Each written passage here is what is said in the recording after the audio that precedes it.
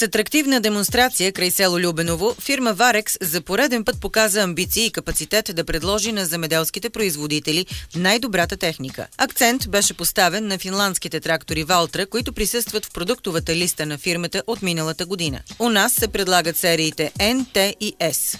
За различните нужди на фермерите и за различните техни желания ние предлагаме раз, различни трансмисии. Серия А е с най-обикновена трансмисия, обикновено с ръчен контрол на по-голямата част от функциите на трансмисията. Трансмисия High-Tech, която е при серия N и при серия T, която отчасти автоматизира а, работата с трансмисията. Следващата трансмисия, която предлагаме е Verso. Това е трансмисия с а, голям брой предавки, 30 и до голяма степен автоматизира при включването на предавките, включително под товар. Най-съвременната трансмисия, която Валтра е разработила, е вариотрансмисия, без степен трансмисия, която позволява на оператора да избере най-подходящата скорост на обработка при необходимата скорост, без да е необходимо превключване на основни предавки, а това става безстепенно.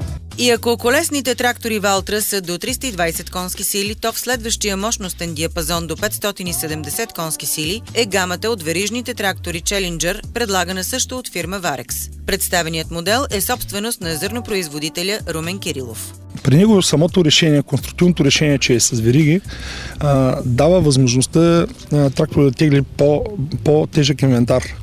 От друга страна, оплътняването на почвата е много ниско и не се налага да продълбочаваш непрекъснато и постоянно. Не на последно място, най-добрата ходова част е на Caterpillar. Двигателите са индустриални, изобщо машината е много здрава, много сериозна, с много мислена, с много големи, с много защити и е, в същото време трактор е мултифункционален. Това, което съм свършил с него за, в рамките на един месец, щях да го свърша с 3-4 машини при по-тежки условия и при условия, които другите трактори не могат да, са, не могат да работят, Челенджер наистина се доказва, че е машина, която извършва много добра работа и е за предпочитане. Румен Кирилов, на чието земи се проведе демонстрацията, е собственик и на тази почвообработваща машина на Симба.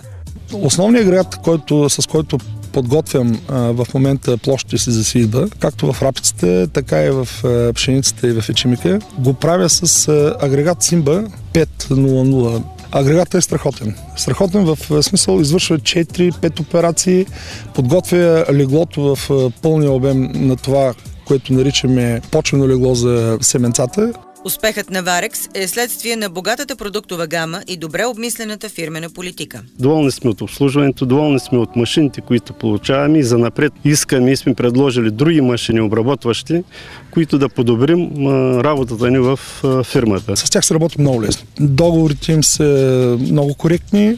Не на последно място, бих казал, на първо е гаранционното обслужване и въобще сериозното обслужване на машините. Реагират в рамките на 24 часа. Работят в интерес на самото производство, на мене като производител, просто искат да бъда достатъчно добре като работа, да получи добри резултати. Стратегията за развитие на фирма Varex е да покрие с максимално територията на България и да разкрие нови сервизни бази в Северна България, като първата ще бъде в Русе, най-вероятно пролетта на следващата година, като целта на това нещо е да се предостави качествен сервис и навременен на всички земеделски производители, притежатели на техника, закупена от Varex. И Valtra, и Challenger.